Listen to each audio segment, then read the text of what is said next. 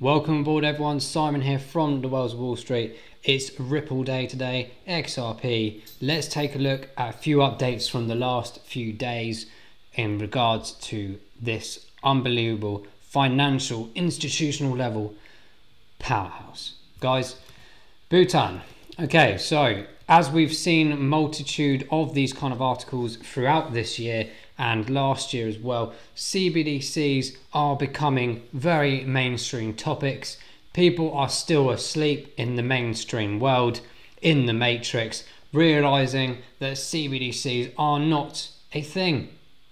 Realizing that this doesn't exist. What it does, I'm afraid, CBDC, central banking digital currency, guys, this is very much another move in the right direction for the transition to digital currency that we've known for a number of years now, and also the interoperability aspect, the bridging aspect, the removal, if not certainly the reduction massively of things like exchange rates, fees. We're talking about real time payments 24 7 across the world. No more waiting days, no more uh, temporary balances in your account until it finally sorts itself out because we're still using technology from about 80 years ago. Guys, this is going to change the world. XRP is one of the key front forefronters of this. We've obviously done Stellar Lumens, very key aspect as well, and of course XDC. All of these, in my opinion, will will bridge together at some point. I'm sure of it. Um, not necessarily, obviously, as the same company, but certainly will be utilizing each other and the aspects of the financial world uh, as we move forwards to a greener world, an Agenda 30 world.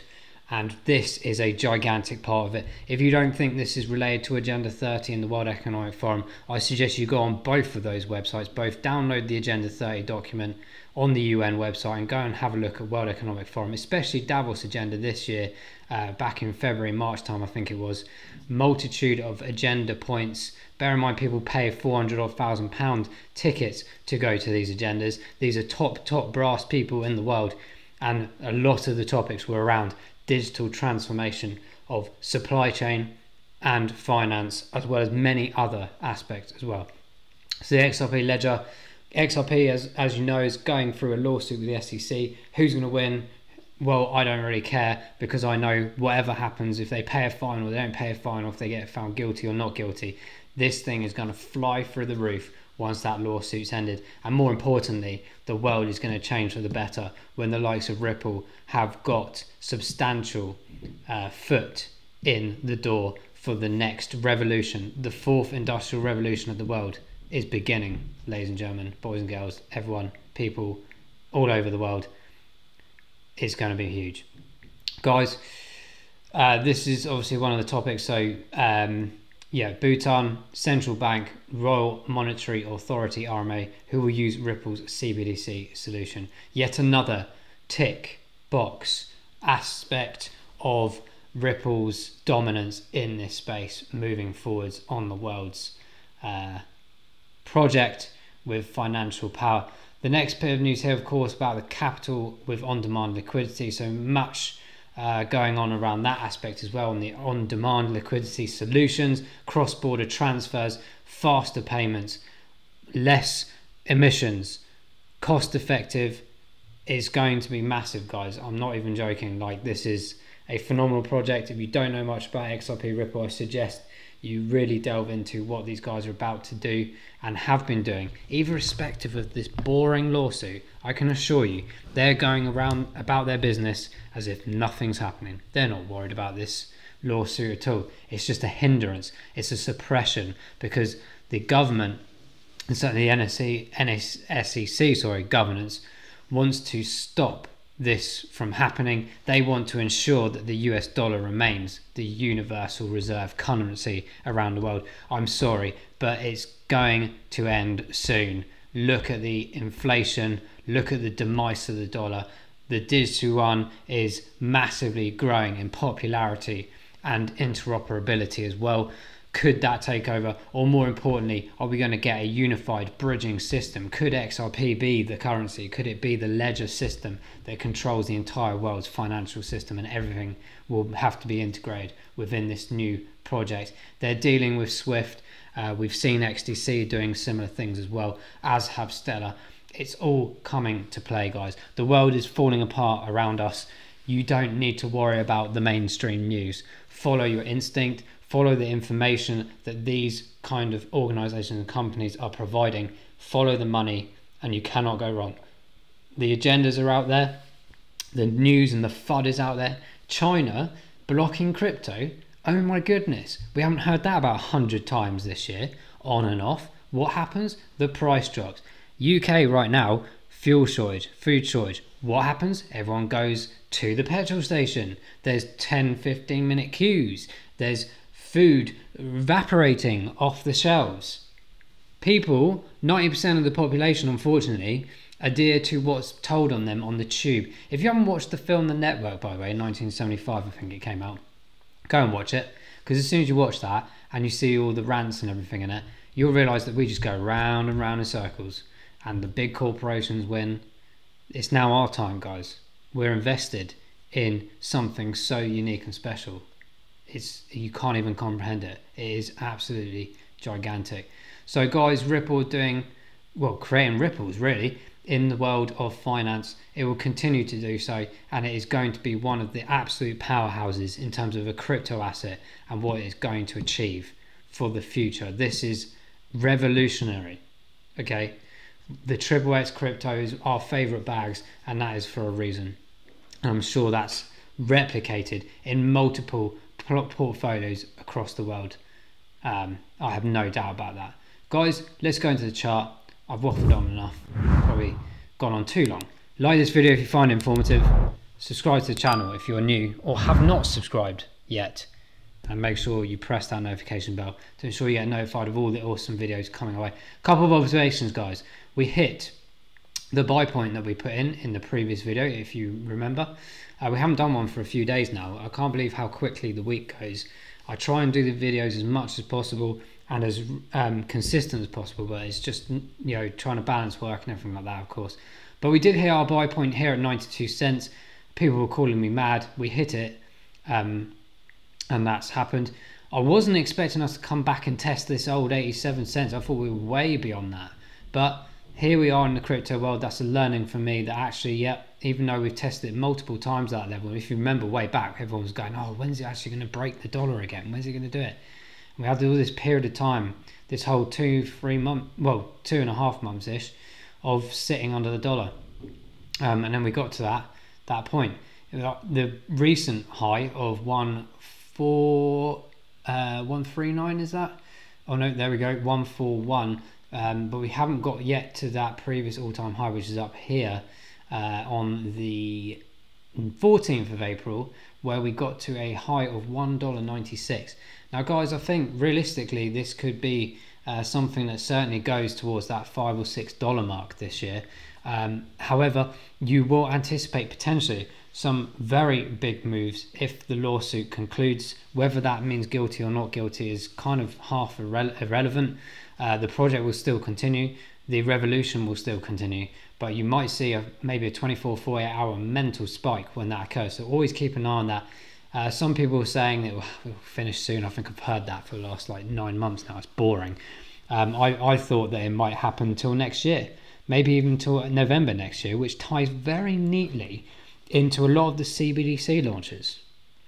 It ties into a lot of things. In the UK, for example, a deadline to uh, hand in all your old smelly pound notes 20 pound notes 50 pound notes. They're all going they're all going to the plastic one. Um, and i'm sure eventually those disappear as well. So that's the deadline. It's very convenient all these things. It's similar to like brexit stuff and the agenda and everything that's going on right now in the uk can people not realize this is all pre-planned? So back to the chart guys. Let's see what we got here. So we've hit back down at this 87 um, we had three essentially resistance levels here up here, we tried to gain back the support line of 96.59. That's what I've got on my fib retracement. Um, that was concluded and accepted. However, today uh, we did have a big drop back down, almost trying to push back to the 87. And we had the Bitcoin news again today, boring, um, where it did pull us back down here. But we've we've retaliated well so far. But I'm I'm kind of partially concerned in the sense that right now, as of recording, we haven't pulled ourselves back to this level of around 96 or 97 cents.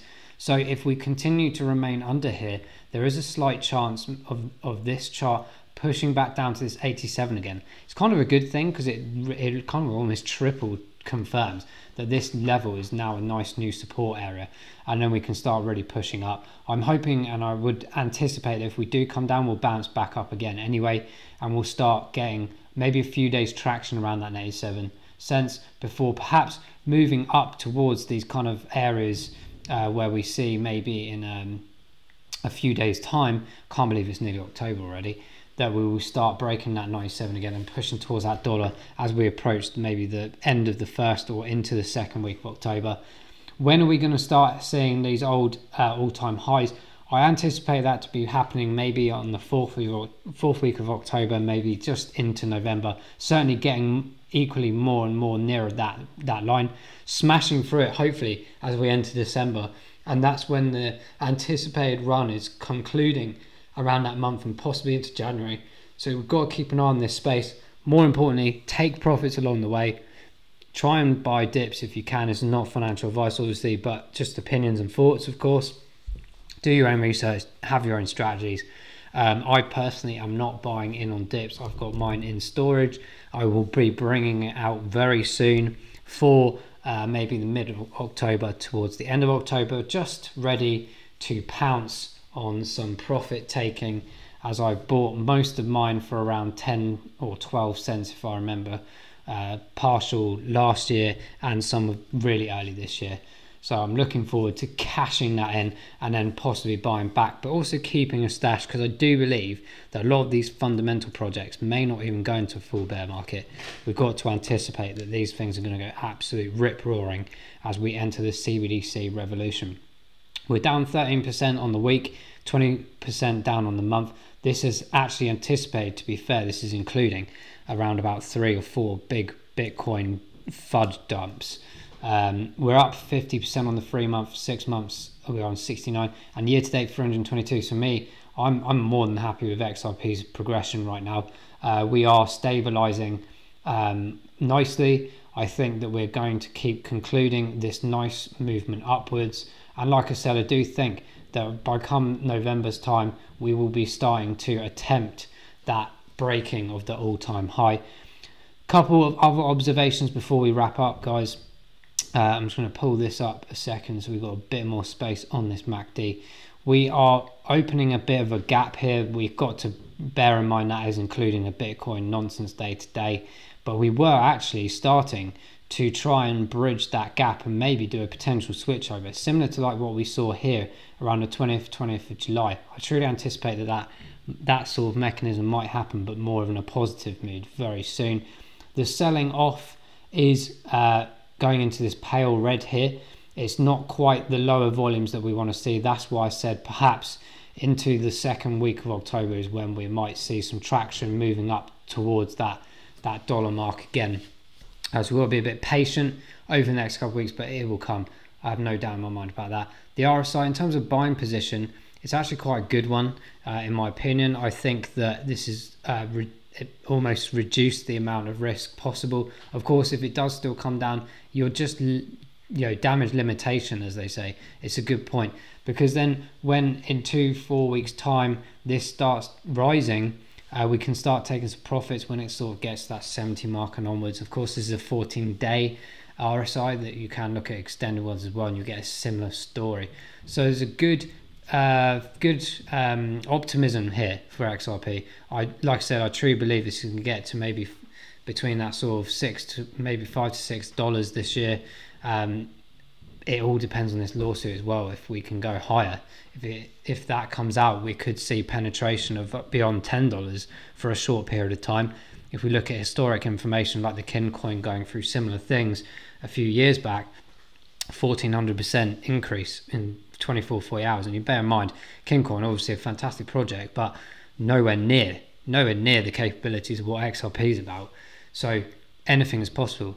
Guys, want to wrap that up? Let us know in the comments below if you're holding XRP, what your anticipation is for a price prediction. We will start labeling them on our charts moving forward. So do leave your comments about price predictions and we will put some of the ones on the chart. And at the end of the year, whoever gets the closest, we will ensure that we are giving away some nice ledgers. And we're doing this for a number of assets as well. We're going ledger mad, guys. So you can hold your nice tokens in the bear markets and into that next run in a few years' time.